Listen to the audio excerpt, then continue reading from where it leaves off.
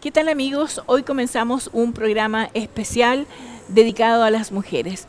Vamos a tener cuatro invitadas de diferentes ámbitos de nuestra ciudad que han trabajado, han luchado por lograr que la mujer ocupe un lugar importante en nuestra sociedad. Así que usted nos espera y ya regresamos con la presentación de nuestras invitadas.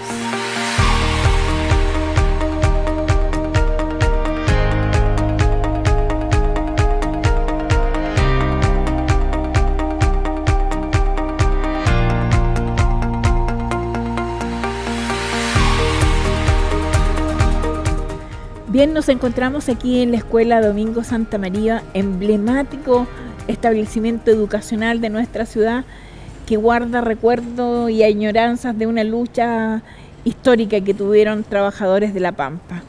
Bueno, hoy día quiero conversar con mujeres, mujeres que se destacan en algún ámbito donde se desempeñan. Voy a comenzar por presentar a quien me acompañará durante todo el programa, Carelia Cerda. ¿Qué tal Carelia? ¿Cómo estás? Hola, muy agradecida una vez más del canal, del tanto de la Corporación Municipal por abrir estos espacios, por la invitación. Muy agradecida estar acá.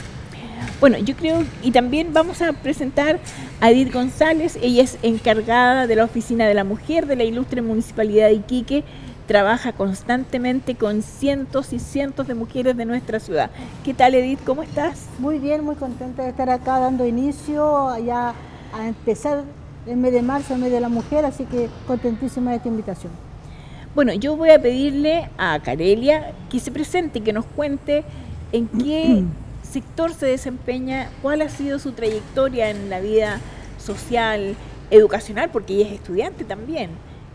Cuéntanos, Carelia.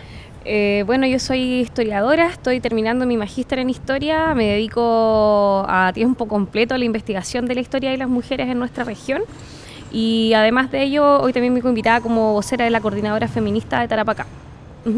Em, bueno, como dice Pilar, todavía estudiante y eternamente creo que voy a estar aquí eh, investigando, poniendo en valor la memoria, poniendo en valor eh, las acciones que distintas mujeres en distintos periodos han llevado a cabo y que lamentablemente nuestra historiografía nacional muy poco destaca nos destaca poco a las regiones y sobre todo a las mujeres de las regiones. Entonces, en esa misión, junto a, otra, otras colegas, no, nos encaminamos hacia aquello.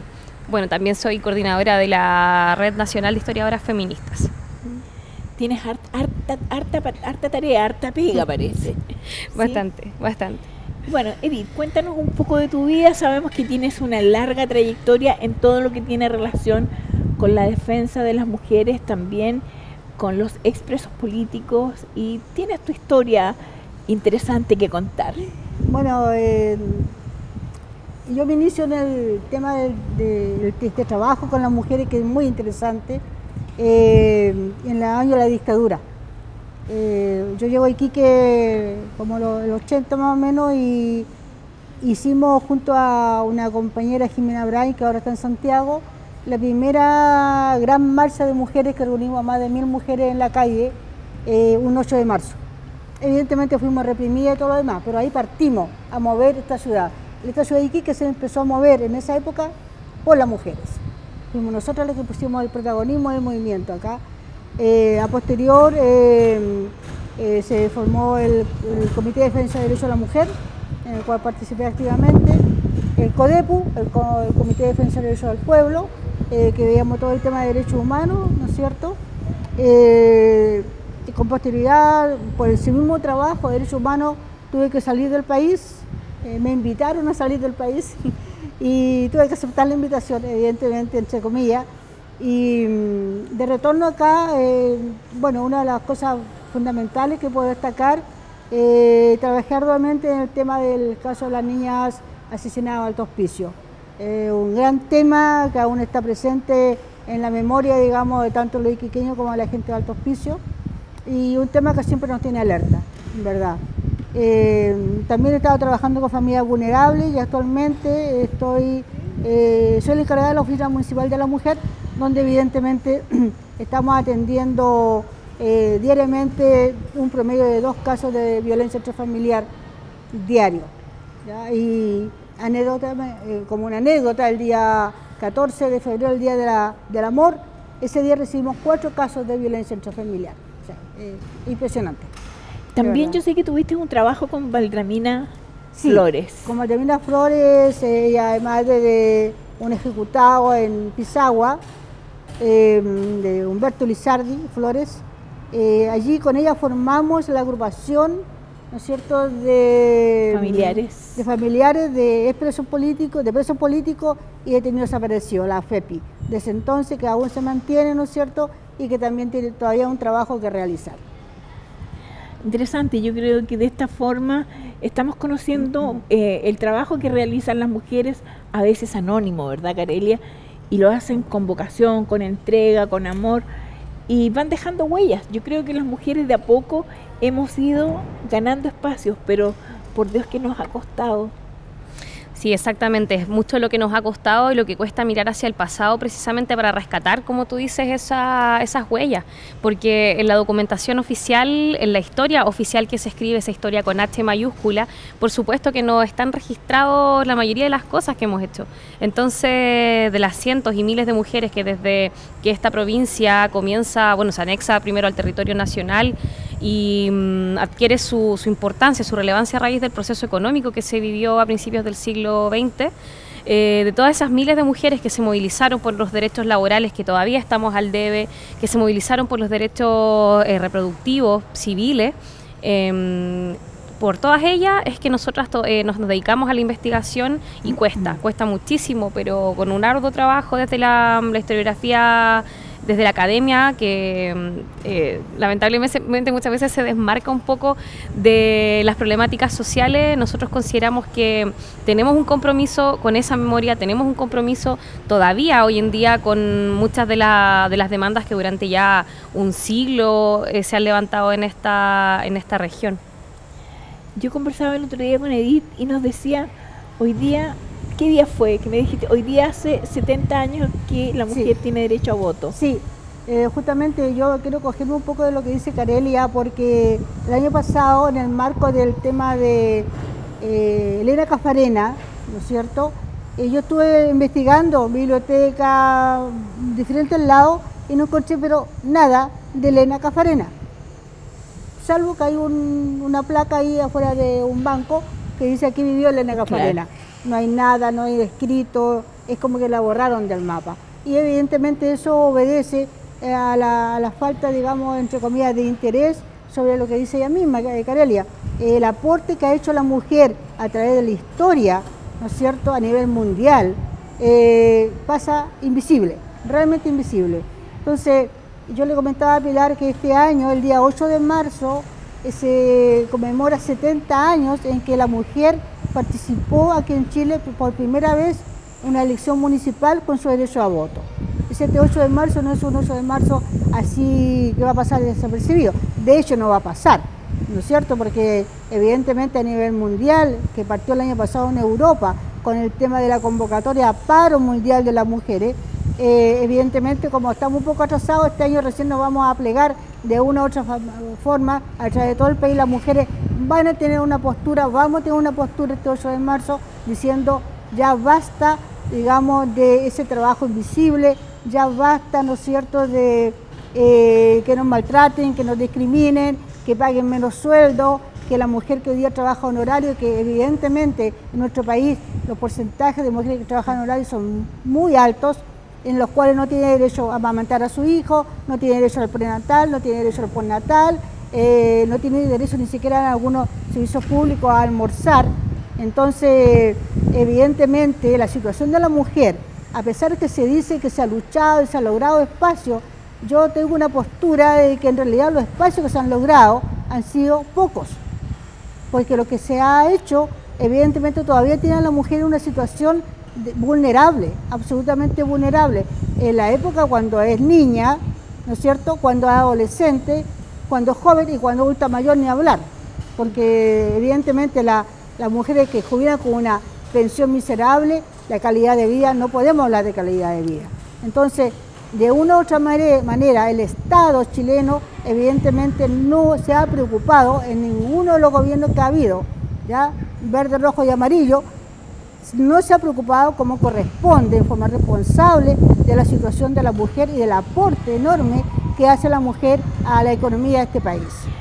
Edith, pero sabes qué, por mi edad, ya estoy viejita, yo tengo mucha confianza en, las nuevas generaciones, en estas chiquillas como Carelia, como Javiera, que va a ser también otra de, nuestras invitadas.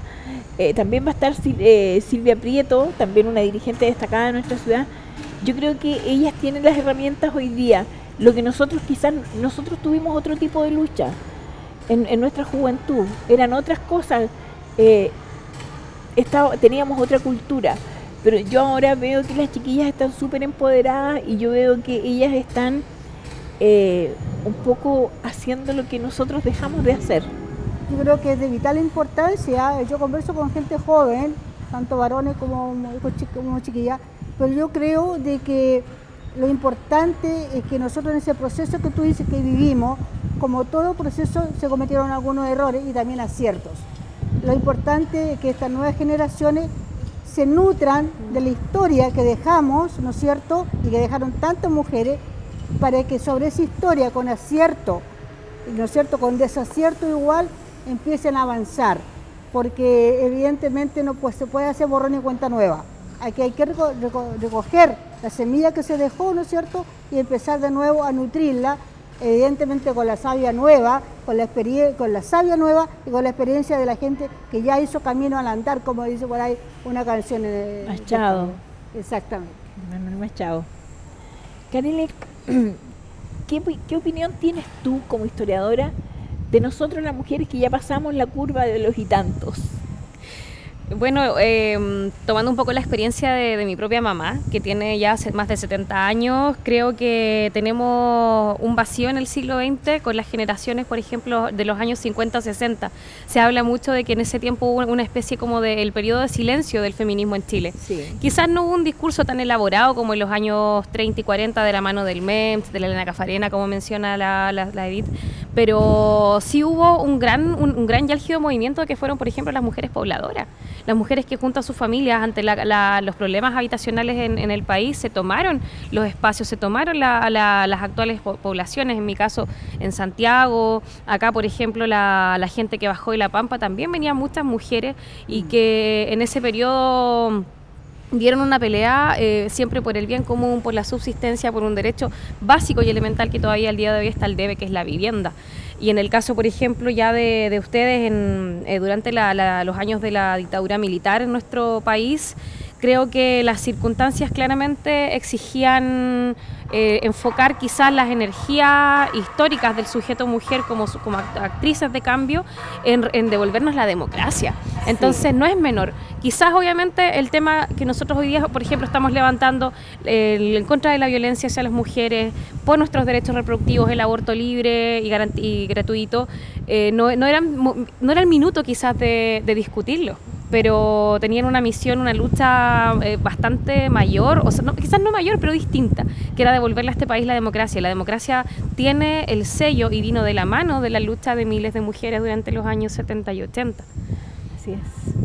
Edith, cuéntanos desde el municipio, ¿cuáles son las herramientas que ustedes les están entregando a las mujeres un poco para que se independicen, ya sea... Eh, del yugo de la economía, porque el hecho de no tener trabajo o darle las herramientas para que sean emprendedoras, ¿cuál es el trabajo que se realiza? Bueno, en esa área eh, nosotros estamos todos los años impulsamos, y ofrecemos una cantidad determinada de talleres que han orientado a esa área, a que la mujer pueda ingresar un poco más de economía, ¿no es cierto?, de su casa, pueda trabajar en forma independiente una vez que termina sus talleres eh, vincularse con el servicio público, con los proyectos que ofrecen algunas entidades públicas y, también conjuntamente con eso eh, tratamos por todos los medios de también tener talleres donde se entrega herramientas de empoderamiento a la mujer, ¿no es cierto?, donde la autoestima, porque yo siempre digo lo siguiente, podemos hacer 50 talleres, pero si no va acompañado con el tema de la autoestima de la mujer, con la capacidad de desarrollar su nivel y apoyarle en el proceso de emprendimiento laboral, donde no rompa, digamos, la dominación que tiene en su casa, que a veces no es solamente por su marido, por su pareja o por sus hijos, ¿no es cierto? eh, los multifactores que hacen que la mujer eh, no se desarrolle plenamente, eh, no logramos mucho, no logramos mucho, porque es cierto, hoy en día, aparte de eso, nosotros tenemos todo el tema de violencia intrafamiliar, que tenemos redes para poder sostener la orientación hacia la mujer también cuando nos va, nos va, llega a la oficina, pero también hay un tema que yo considero súper importante, que hoy día la forma precaria del trabajo que tiene la mujer es un tema que hay que levantarlo como bandera de lucha. Yo respeto mucho y estoy totalmente de acuerdo con el tema, de, tema contra la violencia, contra la dominación del hombre y todo lo que ustedes quieran. Pero hay un tema que es sentido por las mujeres y que no se atreven a expresarlo, porque hay una cantidad importante de mujeres que trabajan en forma precaria y quiero hablar hoy día, sacar la voz por la gente que trabaja honorario en muchos lugares, ¿ya? o mal pagados que callan por el temor, ¿no es cierto?, de perder el trabajo.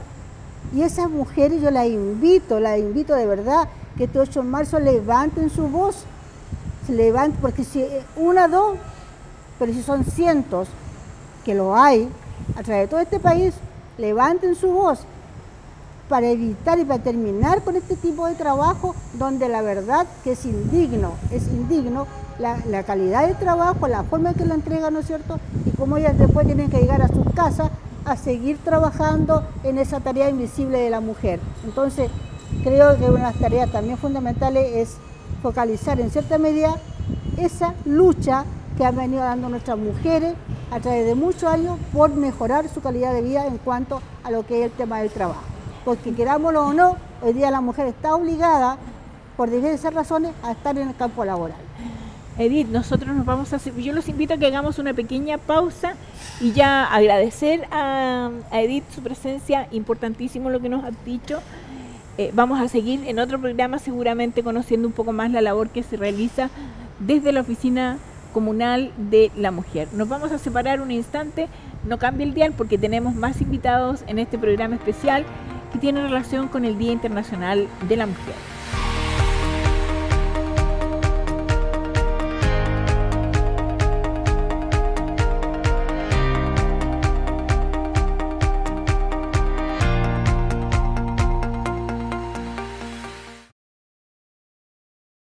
¿Sabes qué es el cáncer cérvico-uterino?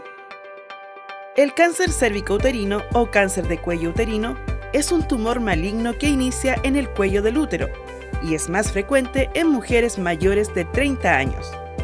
En Chile, el cáncer cérvico-uterino ocupa el primer lugar entre los cánceres en mujeres entre 30 y 54 años de edad y es la segunda causa de muerte entre mujeres de la misma edad se considera como principal agente causal del cáncer cérvico-uterino al virus del papiloma humano, conocido como VPH.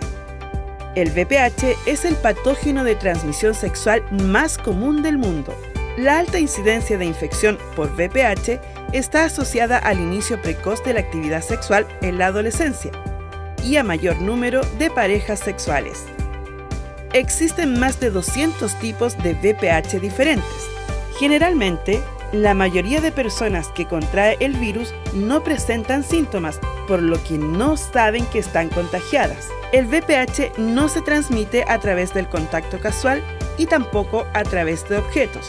El VPH puede transmitirse mediante el contacto de las partes infectadas o relaciones sexuales, por lo que se recomienda para su prevención el uso del condón y para su detección precoz el examen de Papa Nicolau si iniciaste tu vida sexual. ¿Cómo combatimos al virus? En Chile, a partir del 2014, se incorpora la vacuna contra el VPH al Plan Nacional de Inmunización, por lo que quedó disponible de manera gratuita y obligatoria la primera dosis para todas las niñas de cuarto año básico y la segunda dosis para todas las niñas de quinto año básico. En la actualidad, por su efectividad, la Organización Mundial de la Salud recomienda la administración de la vacuna a niños y niñas a partir de los 9 años de edad. Con esta vacuna podrán prevenir la muerte de hasta más de 4 millones de mujeres en las próximas décadas. Juntos tenemos el poder de detener y erradicar esta enfermedad. No olvides que prevenir es vivir.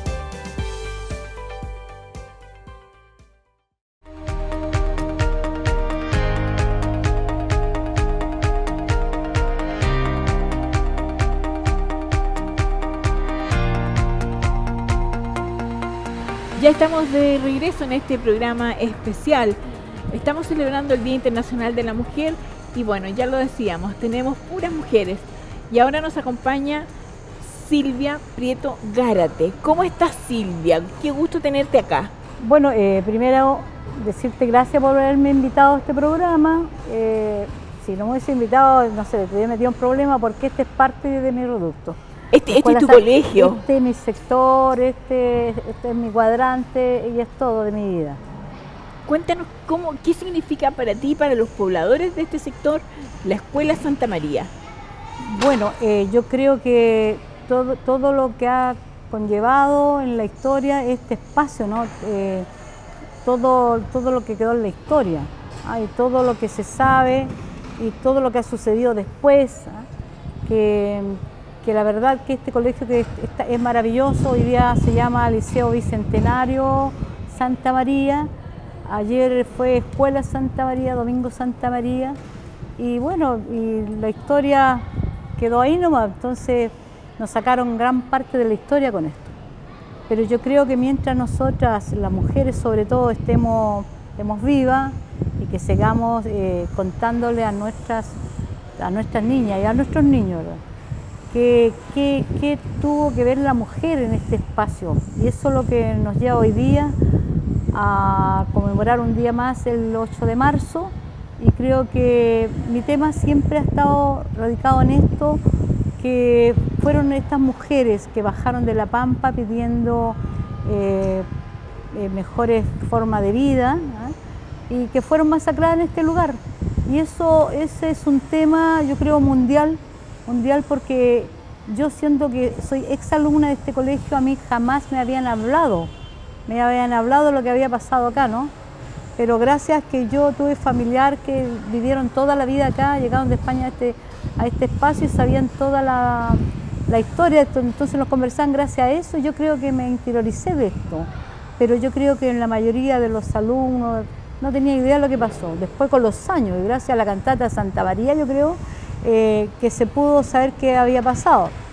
Y más yo como mujer, yo creo que para mí fue una cosa muy impresionante saber que muchas mujeres del barrio también tuvieron eh, eh, participación en esto, recibiendo a mujeres de La Pampa que venían con, en una hambruna terrible con sus hijos, ya muertos de hambre y con, con, llagas en sus caras. Entonces eso, ese, ese eso que nos contaba la abuela a nosotros nos quedó muy marcado y, es por eso que yo reivindico a las mujeres cuando dicen, oye, aquí, ¿qué han hecho las mujeres? Por favor, las mujeres fueron las que, las que acompañaron a, los hombres que venían acá, pero después de ahí, después de esa huelga, de esa matanza, las mujeres siguieron, siguieron en La Pampa eh, apoyando para que salieran a las, a las huelgas, ¿no? Ah, para seguir eh, que el sindicalismo surgiera y todo, fueron las mujeres. Acuérdate que cuando apagaron las cocinas para que los hombres fueran a la huelga. Entonces yo creo por eso esto, es un espacio que para mí es muy emotivo. Silvia, ¿cuántos años llevas tú como dirigente vecinal? Oye, no, yo, no te mira, yo creo que yo siempre, la verdad que yo siempre he sido dirigente de que nací, porque creo que siempre he sido del centro de alumnos, la escuela primaria, después la escuela secundaria también, fui parte del, de, del centro de alumnos y así, de, así pues. Siempre también fui sindicalista cuando fui funcionaria pública, por lo tanto eh, siempre he estado metida, este, no sé por qué, ¿ah? yo creo que eh, tengo unos genes, ese gen rebelde que tengo yo, el gen, rebelde que viene de una abuela mía, bisabuela. viene, es, como eh, que no lo puedo como que está en el ADN, ¿no? Cuando uno se apasiona por algo, nace, nace para eso, cuando tiene vocación, porque para ser dirigente vecinal o dirigente sindical, lo que sea, hay que tener vocación porque es un es a ver, es una es un quehacer que no es remunerado, que uno lo hace por amor, por vocación, por pasión, por todo lo que tú quieras, pero lo haces. Sí, yo creo que sí, ¿ah? porque a través de los años tú ves que muchas veces tú lo estás buscando, no sé, por victoria, no, pero estás, no sé qué, cuál es la, búsqueda, ¿no? De, ser más buena persona, de vivir bien, que mirar eh, no el individualismo, yo creo que eso, eso, eso me nace, ¿no? O sea, soy demasiada de montones yo, de lote. Entonces, por eso que como he sido siempre que familias grandes, oye, yo vengo a mí, yo tengo seis hermanos hombres y una sola hermana mujer, de manera que siempre hemos siempre mucho y yo estoy acostumbrada a estar con mucha gente y, y cuando pasa algo así que uno puede meterse, siempre yo, oye, siempre nunca digo que no. O sea, oye, vamos a esto yo. Y eso es lo que en mi casa me han criticado siempre. Oye, ¿por cómo le dijiste que no? Y no sé por qué no, no puedo, no puedo y, voy al boche y, ahí estoy siempre. Entonces yo no sé si ya a esta altura ya debería estar afuera ya. Yo dije, no, esta es la última vez, esta es la última vez y ahí, todos los años dice, este es mi último año. Claro, y último año. Pero ahora cuando tú ves, imagínate, a mí hoy día, el día para el, día que cumplimos un año más, el Día de la Mujer, yo veo que cómo yo no voy a apoyar a estas mujeres jóvenes que vienen, vienen eh, participando hoy día, vienen dando una lucha, eh, tuvieron que provocar ah, para demostrar esta injusticia y esta esta desigualdad que yo digo. Es una desigualdad que ella quiere decir. Acá le ponen mucho feminista, feminazi a las niñas, por favor. Entonces, fíjate que este grupo de mujeres yo creo que va a ser historia en Chile, ¿eh? lo que están haciendo en el mundo. Y por lo tanto yo tengo que apoyarla, tengo que apoyarla. Así yo estoy tomando a, mis nietas, a, mi hija, bueno, eh, ya, ya son ya feministas, pero a mi nieta que están estudiando en la universidad, yo le digo, usted tiene que estar, o sea, su obligación estar porque mira lo que está pasando, mira lo que pasó con los artistas, entonces que no entienden nada, no entienden nada. Y yo recién mis compañeros me dicen, oye, ¿qué pasa que ustedes, no sé, pues las mujeres se, lo están yendo por el chorro? Yo le digo, a ver, parece que no sé, no los conocemos de antes, oye, pero si siempre hemos estado. Mira, el tema del machismo le hace mal a ustedes y a nosotras, por favor. Oye, yo gracias a Dios, yo dije, yo tengo un papá que fue feminista, menos mal, le dije yo, porque ustedes, ¿cómo hablan? Me hablan así. Es que usted mira la, la cabra de anoche, la, ¿cómo se llama la, mm, la Hani? Eh, me eh, mira lo que hizo, prácticamente está llamando que las niñas están lesbianas. Oye, ¿en qué estás viendo? Le digo yo, si no, no fue así. Cada cual interpretó a su manera, según su pensamiento, según por lo tanto, en ese contexto hoy día está un grupo de gente, tanto hombres como mujeres, están criticando a estas niñas que están dando la cara en Chile por la injusticia y por la desigualdad en todo ámbito, en educación, en salud, en vivienda, en cultura. Esa es la desigualdad que hay con las mujeres. Pero resulta que, que no lo entienden y en los colegios no lo explican también de manera que yo creo que la educación va todo, ¿no? Yo quiero preguntarte, mm. Carilia, hay una palabra que se está usando mucho, sororidad. Quiero, quiero que tú nos expliques un poco, porque uno dice, en, en nuestro tiempo no existía, no la conocíamos esa palabra. Yo cuando me dijeron sororidad, yo dije solidaridad. No, me dijeron sororidad. Cuéntanos, ¿qué significa sororidad? La sororidad creo que además de una palabra también viene siendo un verbo, porque es algo que estamos intentando practicar desde los cambios más cotidianos que tenemos que hacer nosotras en, nuestra propia introspección, nuestra, propia autoanálisis, autodeconstrucción, de entender a la otra como una, como una hermana de posicionarnos también en sus problemas, de entender la diversidad de mujeres que somos, de mujeres migrantes, de mujeres eh, trabajadoras, de mujeres estudiantes, en, toda la complejidad de lo que hoy en día significa ser mujeres. Y desde ahí no discriminar a la que tengo al lado, sino que entender de que en este contexto de tanta violencia, de que nos están matando, si no nos apoyamos nosotras, si no nos unimos y unimos fuerzas en contra de, de la estructura social en la que habitamos, que se llama patriarcado, no, no vamos a llegar a ninguna parte. Entonces la, la al frente no es ni una maraca, perdón que lo, digamos así, ni la al lado es mi, es mi, es mi enemiga, ni es mi, eh, mi, mi, mi contrincante, sino que es mi aliada. Y es mi aliada en esta lucha que tenemos que dar para mejorar finalmente nuestras condiciones de vida. Entonces, en, ese sentido, es, una palabra que muy, muy bonita que, la, que la, la practicamos también. Intentamos entonces eh, amarnos y armarnos Yo creo que contra el machismo. es importante. Yo creo, pero ¿sabes qué? Yo desgraciadamente veo que de repente las mujeres somos nuestras peores enemigas entre nosotras. Y eso se da. Por ejemplo, uno lo ve en, en, en todos los ámbitos Eh, un poco por qué, porque todavía tenemos esa ambición personal de sobresalir de la otra. Exacto. Y, y somos enemigas en algunos casos. No somos solidarias o sororas. ¿Esto me Claro. dicho la palabra? Sororas. Sororas. Recién escuché esa, esa palabra yo, ¿ah? pero aquí, tal como dices tú, no, todavía no hay esa solidaridad eh, mutua con las mujeres porque, porque la educación no ha hecho así. La educación no ha dividido y nos tiene en esa posición. Aquí, cuando una persona, por ejemplo, en lo político, cuando tú levantas a otra mujer, siempre levantas a un hombre. Sí. Y no es porque estemos contra el hombre, pero si tú, una baba mujer, va a ser una candidata que habla bien del género y que quiere, quiere, que está con las propuestas que tú, tú tienes en tu mente, y, te, y resulta que te vas a un partido político, todo, y al final votas por el hombre. Y si un ejemplo práctico es, es cuando estamos en una sala de, de- de apoderados y hay un solo hombre y a ese hombre lo eligen de, de presidente Lo eligen las mujeres. lo elegimos las mujeres, por lo tanto, eh, eh, te digo que es asunto de, de educación. ¿ah? Esta educación está así, y este matriarcado, es el patriarcado que tenemos, eh, viene tanto de las mujeres que lo enseñan y lo replican en los hijos.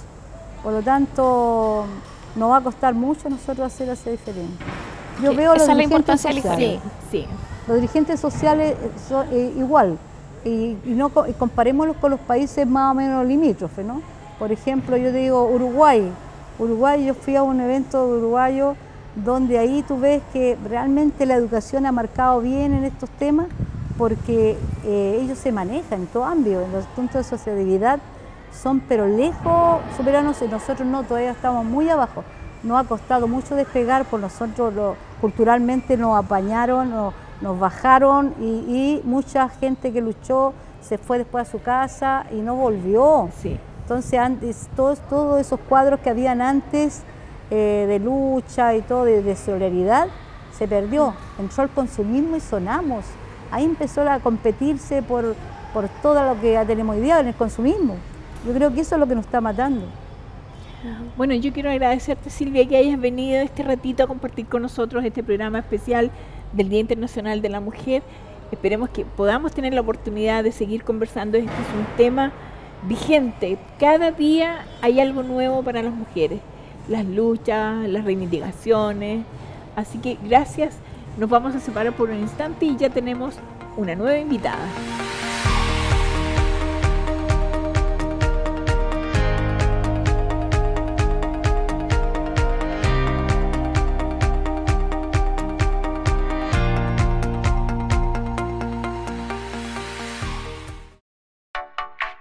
La ilustre Municipalidad de Iquique y la Corporación Municipal de Desarrollo Social tienen el agrado de invitarte a participar del operativo Tu municipio en terreno, que cada semana llega a tu junta vecinal para entregarte de forma gratuita una asistencia social que mejorará tu calidad de vida. Infórmate sobre el subsidio de agua. Realízate el examen médico preventivo de salud para adultos y protege a tu mascota con la instalación del microchip. Todas estas actividades en un mismo lugar, cerca de ti, cerca de todos. Más información en www.municipioiquique.cl y nuestras redes sociales. No olvides compartir y comentar. Iquique para todos.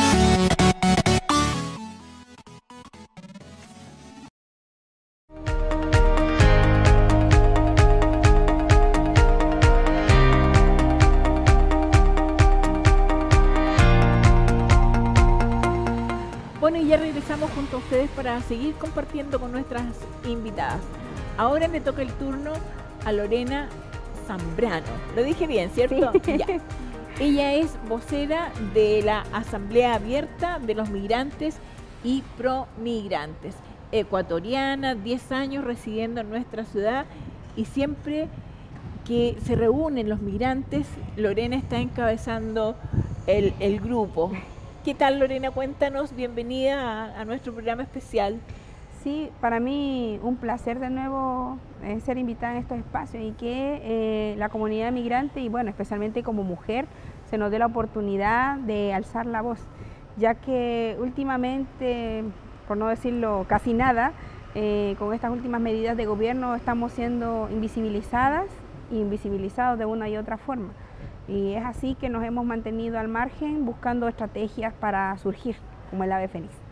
Oye, cuéntanos, ¿cómo llegaste a Iquique? Bueno, en realidad, como muchos de migrantes, por la, por la economía del país, eh, entendiendo que la mayoría de los países son, son ricos en muchas cosas, pero desgraciadamente los gobiernos hacen que eh, emigremos, eh, buscando una estabilidad económica para nuestras familias. Yo te he visto también luchando en los comités de vivienda. Sí, exactamente. Em, en el 2016, eh, viendo la necesidad de mi familia, de, em, después del terremoto del 2010, que ustedes vieron que comenzaron a subir el alto índice de, costo de las viviendas, al ser madre de tres hijos y con una mamá diabética, tenía que movilizarme a otro lado. Entonces, así donde me arriesgué a vivir en las tomas de alto hospicio y sufriendo en el 2016 un desalojo brutal y siendo parte, y oh sorpresa, dirigente, migrante, y fuimos a la lucha y por medio de eso conseguimos que Derechos Humanos de Santiago nos escuchara, nos removieran para otro lado y es así donde se alza por primera vez la voz al saber que sí se estaba ocurriendo desalojos en Alto Hospicio, que sí en la comuna ocurrían muchas irregularidades, que de una u otra forma este desalojo vino a abrir los ojos de una, de una verdad invisibilizada eh, por la región. Ahora, ¿en qué, en qué lucha están? Bueno, en sí, eh, nosotros como organización AMPRO eh, hemos armado nuestro, nuestro cuerpo de trabajo en varias áreas, jurídico, salud de la mujer. Nos hemos integrado y acoplado y gracias a que hemos trabajado mucho con la Universidad Arturo Prat, la UTA y, personas comunes y corrientes que ven en nosotros la confianza para poder seguir trabajando. Yo creo que ese ha sido nuestro fuerte como organización y como mujeres.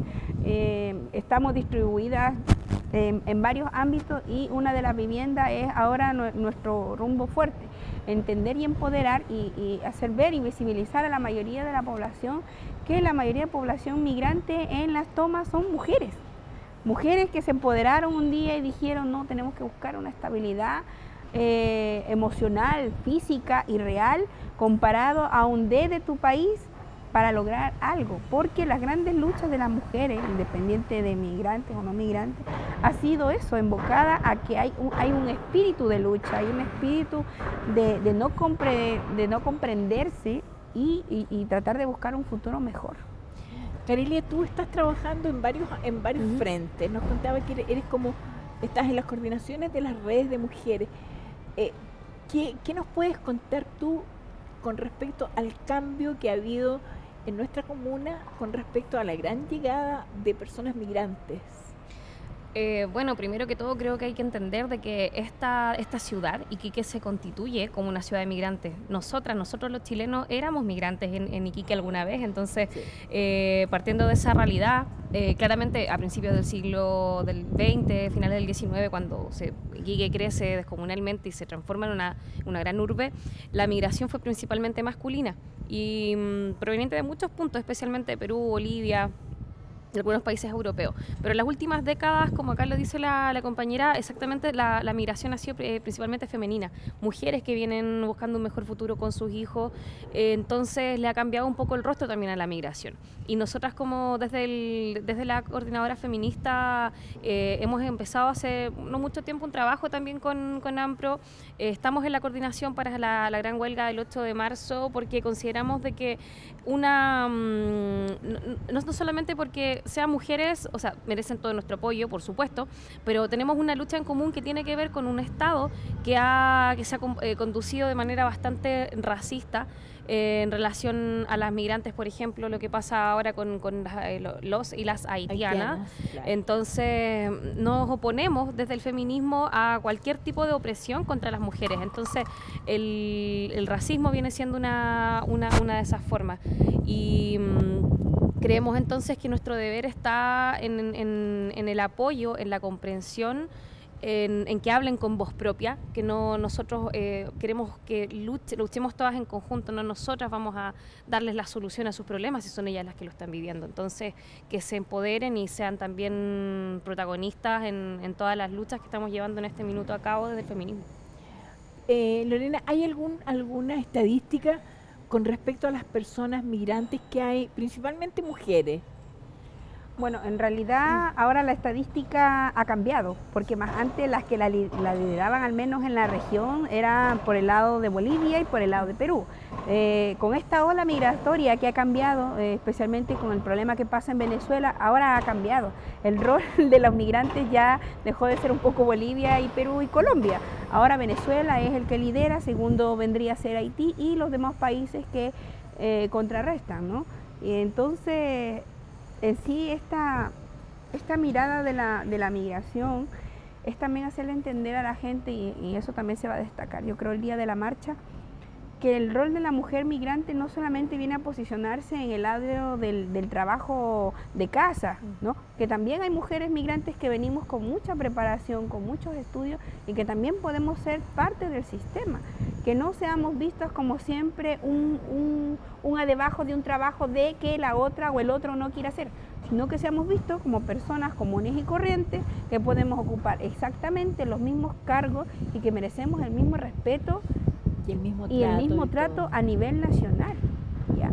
Ojo que cabe destacar que estas migraciones de mujeres es a nivel mundial. Si ustedes ven la última estadística cuando fue de los nicaragüenses que viajaban a Estados Unidos, la mayoría eran mujeres, porque siempre la mujer es la que toma la iniciativa, es siempre la mujer la que está eh, postergando o siempre es la mujer la que está tomando como el rol de la protección del hogar. Sin embargo, la mujer, claro, no solamente somos la protección, somos, y creo y con base que somos el pilar, porque si nos podemos comparar quién nació primero, el huevo o la gallina, siempre somos las mujeres las que, las que por medio del hombre de una u otra forma damos la vida, pero somos las creadoras de este, de este sistema y de este mundo. Y de que, como decían las otras compañeras, de que sí nos hemos equivocado, sí nos hemos equivocado. Pero yo creo que de todos esos grandes errores nacen estas nuevas luchas, estas nuevas, estas nuevas mujeres, estas nuevas olas de abrir los ojos y de que el mundo ya no es rosa, sino que es rosa, morada y celeste. va cambiando y que la gente va cambiando. Y eso, al menos aquí en Chile, le ha costado mucho, porque también entender que ustedes vienen de un proceso de dictadura y donde históricamente las leyes de Estado son desde el año 75, y si hablamos de la migración, mucho más. Y este rol eh, se tiene que cambiar con una pelea, una pelea constante, eso, trabajando en terreno y demostrándole a la gente que la migración sí puede ir en conjunto con los hermanos chilenos, que si hay cambios en la historia que se van a poder hacer en conjunto con ustedes. Pero eso es un trabajo no de meses, eso es un trabajo de años de estudios también y de que las personas también entiendan que las organizaciones de hoy en día migrantes ya no estamos solamente en el ámbito cultural o gastronómico, sino que las organizaciones se están empoderando en el rol de estudiar todos los ámbitos para poder defenderse contra el gran enemigo que es el Estado. ¿Qué proyectos tienen ustedes como AMPRO? Bueno, uno de los proyectos es continuar la escuela. Bueno, el año pasado tuvimos el placer de abrir una de las escuelas populares, Joan Frobville. Eh, muchos no saben, bueno, Joan fue una mujer que falleció en Santiago, víctima eh, de la discriminación y de no entender por qué ella no hablaba español. Haitiana. Haitiana, así. Entonces, eh, Joan fue la gran impulsadora a que esta escuela siga abierta y este año sigamos otra lucha más. Y seguir empoderando a las mujeres migrantes, efectivamente, como dice la compañera, en todos los roles. Karine, ¿qué mensaje les entregas tú a AMPRO conociendo que tú perteneces a un grupo vasto de mujeres, estás representándolas eh, digamos, estás representando a varios centros, a varias organizaciones aquí en este programa. Bueno, la, la idea es continuar el trabajo en conjunto, no solamente en las coyunturas, en, las fechas del calendario, por así decirlo, porque acá los problemas no son coyunturales, los problemas de las mujeres migrantes, los problemas que tenemos hoy en día, todas nosotras, problemas que se arrastran de hace más de un siglo, eh, son estructurales. Entonces creemos que no basta solamente con que nos movilicemos este 8 de marzo, sino que el trabajo sea constante, que estamos para, para apoyar y sobre todo para, como reitero, eh, que ellas hablen eh, desde en primera persona, que no sea seamos las chilenas en defensa, que no seamos nosotras las que hablamos por las migrantes, sino que se empoderen y que este trabajo se, se prolongue en el, en el tiempo. Esa es la, la intención. Lorena, agradecer que hayas estado, ha sido pero muy interesante para nosotros y creo que también para la gente que nos escucha y nos ve desde su casa, conocer un poco el pensamiento, eh, el mensaje que tienen ustedes, el llamado que hacen ustedes a las autoridades y también el deseo de vivir en paz, creo que es lo más importante. Eh, vivir en paz, en tranquilidad, yo creo que es un poco la recompensa para todo el trabajo que realizan ustedes. Así que gracias por estar con nosotros y vamos a seguir en otros programas, por supuesto, hablando con ustedes también. Gracias. Gracias, Lorena. Nos separamos así un cachito chiquitito y ya regresamos porque ahora va, nos va a acompañar la presidenta de la Federación de Estudiantes de la Universidad Arturo Prat.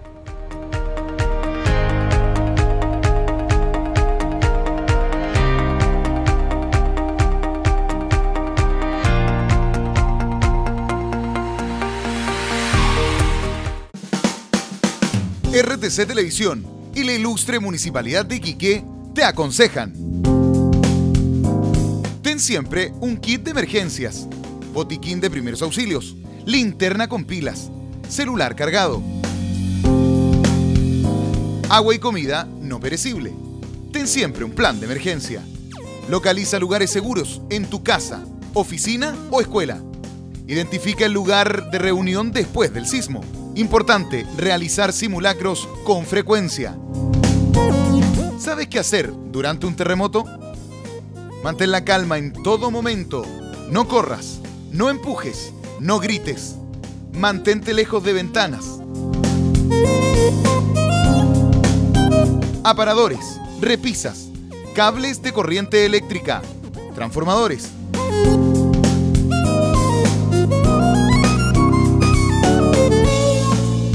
Además, siempre busca refugio, debajo de muebles sólidos. Colócate en cunclillas y cubre tu cabeza en todo momento. ¿Sabes qué hacer después de un terremoto?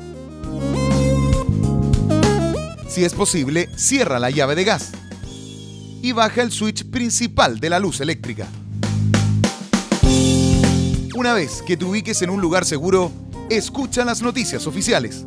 Mantente lejos de construcciones dañadas y postes. Mantenerse alerta siempre para las posibles réplicas. Infórmate y cuídate.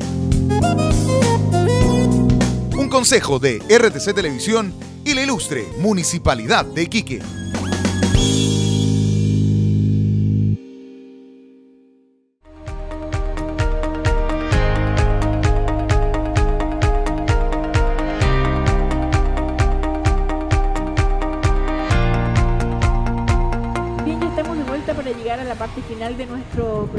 Hemos tenido invitadas muy importantes y nos queda Javiera. Javiera es la presidenta de la Federación de Estudiantes de la UNAP. Ella ha estado en todas las luchas y yo quiero que Carelia, porque ellas son de la misma generación, yo estoy un poco out de ellas, ¿no? Por, mis años, pero Carelia, yo creo que tú converses con, con Javiera y hablen un poco acerca del acoso, que no hemos hablado del acoso. Hay un tema de una, de una página, Nidos, que salió que es bastante importante que las mujeres estén preparadas y sepan cómo enfrentarse a esto. Y temas que realmente les competen a la juventud, que a lo mejor no son los mismos temas que nos competen a nosotros las veteranas. Así que bienvenida Javiera, gracias por venir y un poco que ustedes dialoguen, conversen entre ustedes y, y cuenten las inquietudes que tienen las jóvenes, cómo se proyectan ustedes en este mundo donde de verdad les toca una lucha bastante fuerte.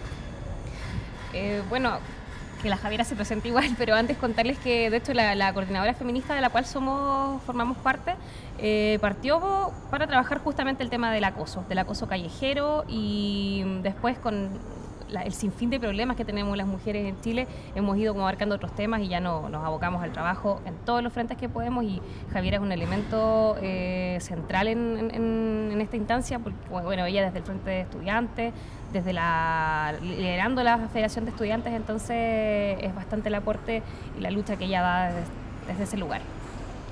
Ya, me presento, mi nombre es Javiera Escobar Thompson, soy presidenta de la Federación de Estudiantes de la UNAP actual desde el día de ayer, eh, vocera del CONFECH, zona norte y, me, hace duda de, lo que tú dices, de que no considero que es distinto el feminismo dentro de nosotros como jóvenes, como ustedes con más experiencia.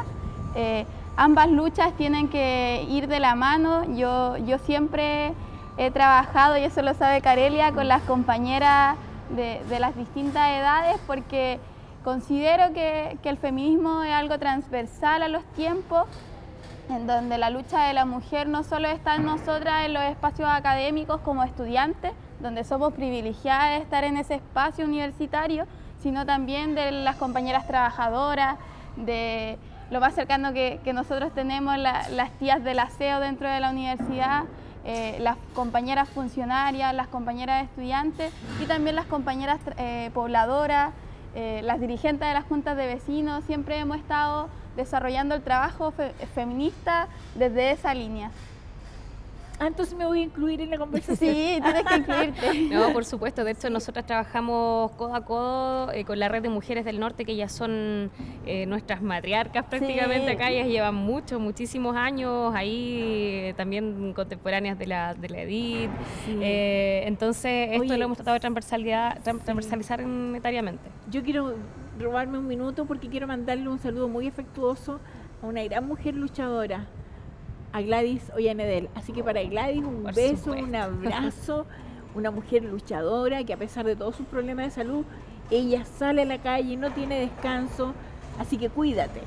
así que se nos Sí, Gladys es nuestra amiga, es, nuestra patriarca, es, es, nuestra, nuestra dirigente máxima y, siempre lo hemos conversado con Carelia de que ojalá poder llegar a su edad y, y estar así, tan activa ser una dirigente social tan potente dentro de la región.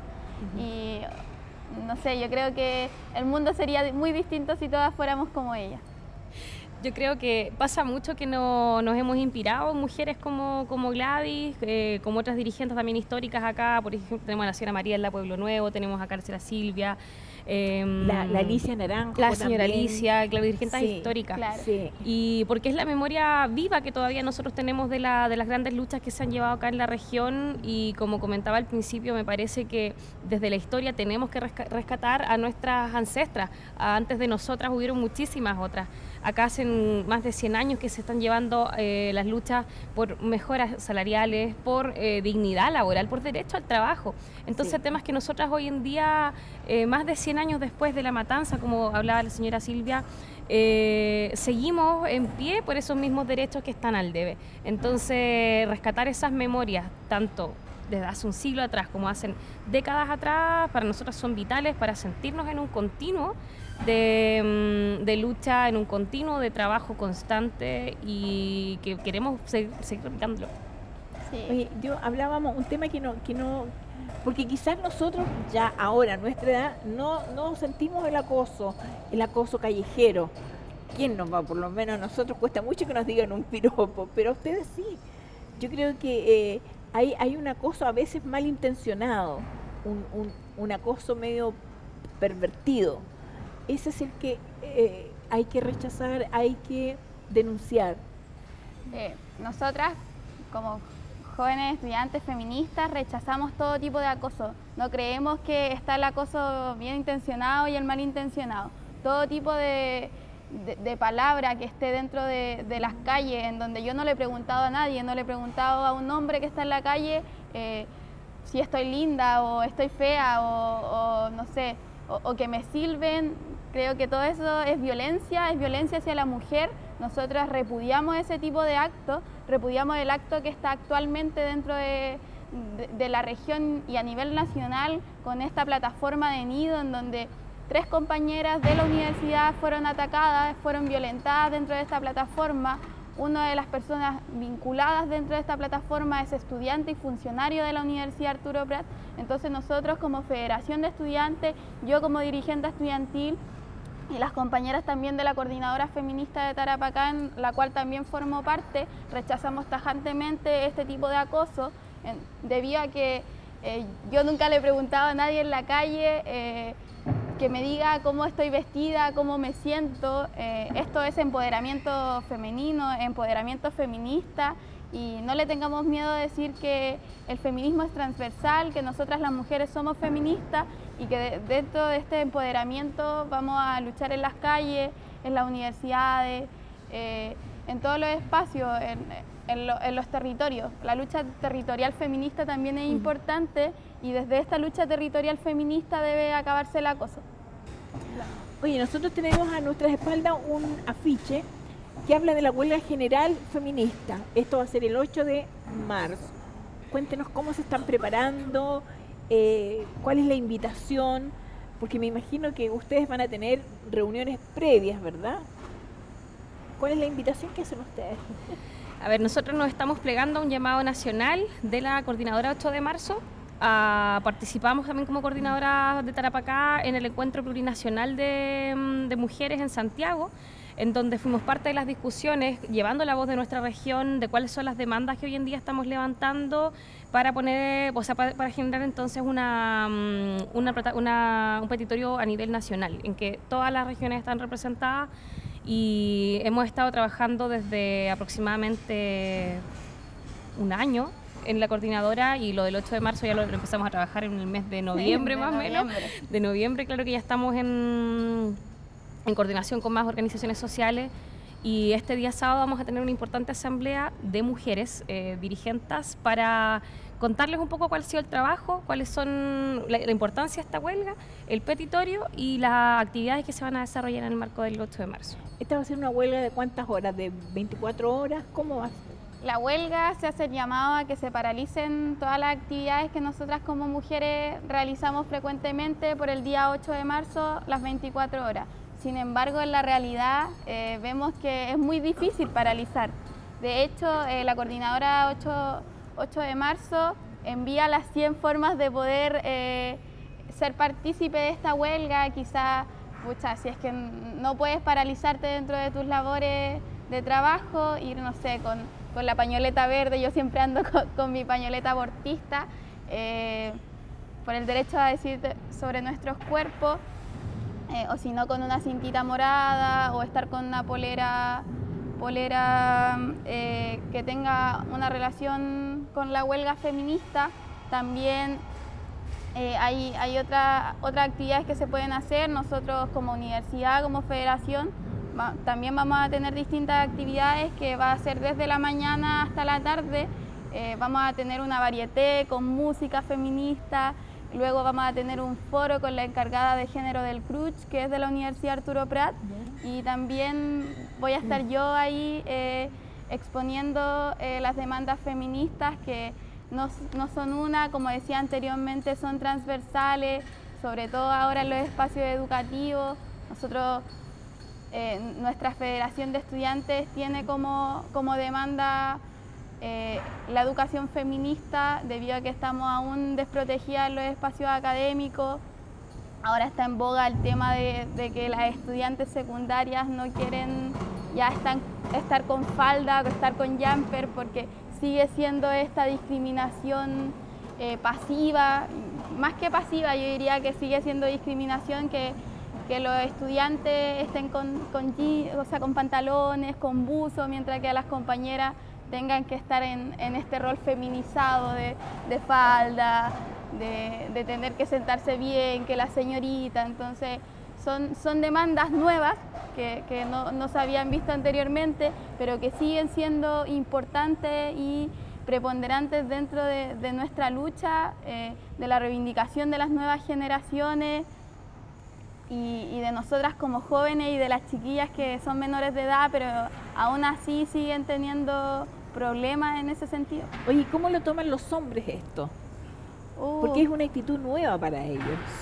Claro, yo he tenido en la universidad demasiados problemas, eh, pero pucha, creo que es necesario que, que, que los hombres, los compañeros, eh, sepan eh, saber cuáles son sus privilegios y puedan criticar estos privilegios que tienen ellos. Eh, ellos pueden salir a la calle a cualquier hora y no les pasa nada. Yo, para poder salir a la calle, tengo que eh, estar llamando por teléfono todo el recorrido a mi hermana o a mi mamá o a mi amiga. Cada amiga, yo creo que cada mujer, cada joven eh, le avisa a su grupo de amigas que llegó a la casa, Sí. o que salió, o que está bien, porque no podemos estar tranquila en las calles. Mm. Eh, y, este privilegio que tienen los hombres de mi compañero que tiene la misma edad eh, puede salir y no le dice a su amigo que llegó, o no tiene que estar llamando. O yo ahora, ahora con esto de- del, del ciberacoso, eh, estos días he tenido que mandar a revisar mi celular porque estaba intervenido, porque esto que aquí, esto que allá, sobre todo en, en la posición de dirigente, hay mucho miedo, pero, pero eso no nos va a callar, no estamos silenciadas, eh, la lucha es transversal y no se va a acabar y no vamos a ser la minoría como feministas. Sí, pero ¿sabes qué? A nosotros como mamás, yo creo que también nos preocupa. Sí, Eh, claro. Estamos pendientes y le pedimos a nuestros Mm. hijas, a nuestras Sí. hijas, Mm. porque no lo hacemos con los hijos. Claro. A las hijas, oye, avísame dónde vienes, tomaste el colectivo, dónde Claro. vas, llegaste a tu destino. Claro. Entonces, yo creo que eh, existe el temor a que le pase algo a nuestras hijas. Claro, Vemos que hay inseguridad para ella en el país. sí. Es que por lo mismo estamos haciendo este llamado. Yo creo que el llamado, como dice Javier, es transversal. Es independiente de nuestra edad, es independiente de nuestras eh, distintas condiciones, de la diversidad de mujeres que somos. El llamado es a terminar con estos problemas estructurales. El llamado es a que nos movilicemos el 8 de marzo. Eh, por supuesto que hay espacios que, por ejemplo, nosotras las mujeres tenemos que son, son solamente mujeres, como en la asamblea que te comento que vamos a tener este sábado con distintas dirigentes, pero el día de la marcha también le hacemos un llamado a, lo- a los varones. Hay formas de participar, hay formas de que también se sumen y de, de que tomen conciencia. Yo creo que hay, ya ha habido un avance en ese sentido entre las generaciones, incluso quizás más, más jóvenes, aunque no sé, mi papá tiene 75 años y la primera vez que yo escuché la palabra fe- feminismo fue de su boca pero mm, queremos avanzar hacia, hacia aquello. Y el llamado también es a que seamos creativas, seamos creativos. En nuestros distintos espacios podemos paralizar 10 minutos, podemos hablar con la compañera, podemos hacer una pequeña asamblea para, para reflexionar. Entonces, si bien no todas las mujeres van a, van a tener el privilegio de no ir al trabajo ese día o no mandar los niños al colegio, no cocinar, pero hay muchas formas de movilizarse. Entonces, acá el acto central que vamos a realizar es a las 6 de la tarde. Desde el Liceo Politécnico vamos a marchar hasta la Plaza Condel. Pero durante el día el llamado es ese, la creatividad en los distintos espacios educacionales, laborales, en cualquier forma que podamos nosotros manifestarnos ese día. Bueno, yo creo que eh, hemos quedado clarísimo, hemos conocido mujeres de diversos ámbitos de nuestro quehacer laboral, social, vecinal. Eh, celebrar el Día Internacional de la Mujer, ojalá se celebre todos los días, que las mujeres tengan oportunidad de expresarse todos los días, de decir lo que sentimos, de, de hacer un llamado que nos entiendan, eh, exigir igualdad en los derechos, igualdad en el sueldo, en el trato, en todo. Y, y ojalá tengamos más espacios para poder seguir conversando con gente joven, conocer estas nuevas ideas que, que tienen los chiquillos, esta nueva generación que tiene ganas de luchar para ir eh, recuperando los espacios que a lo mejor se han perdido en el tiempo. Eh, agradecerte, Carelia, el hecho que hayas estado con nosotros, que nos hayas acompañado durante todo el programa, aportando con tus conocimientos, con tu experiencia, eh, con tu liderazgo también, porque sabemos que eres una mujer líder en, el- en- en varios ámbitos de la mujer. Así que gracias por estar acá. Muchas gracias a ustedes por la invitación. Javiera, ha sido un placer enorme poder conversar contigo, conocer también lo que piensa una, muchacha joven universitaria con ganas de... eh, Futura de- profesora también. Ay, futura profesora. Así que, bueno, agradecerle a Silvia, agradecerle a Edith, agradecerle a Lorena. Bueno, agradecer a cada uno de ustedes que ha estado en la sintonía de RTC Televisión en la conmemoración de este día 8 de marzo, Día Internacional de la Mujer. Gracias y buenas tardes.